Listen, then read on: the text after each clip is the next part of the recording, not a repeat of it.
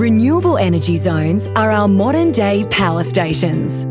They combine renewable energy, storage, and power lines to deliver electricity to homes, businesses, and industry. By building new transmission lines to connect multiple solar and wind projects and energy storage in a defined area, renewable energy zones enable a planned approach to infrastructure development.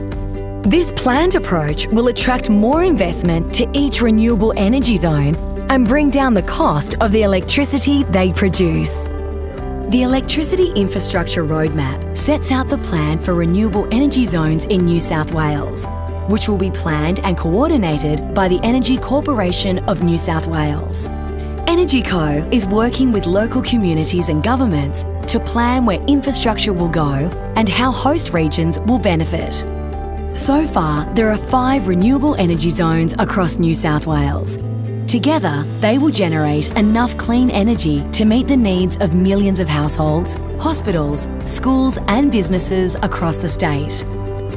Careful strategic planning and competition will help ensure the best projects get built, delivering real benefits to host communities and energy consumers. Every project will be required to make contributions to community and employment initiatives in renewable energy zones through access fees. Renewable energy zones will enable New South Wales to provide affordable, clean and reliable electricity for everybody in New South Wales.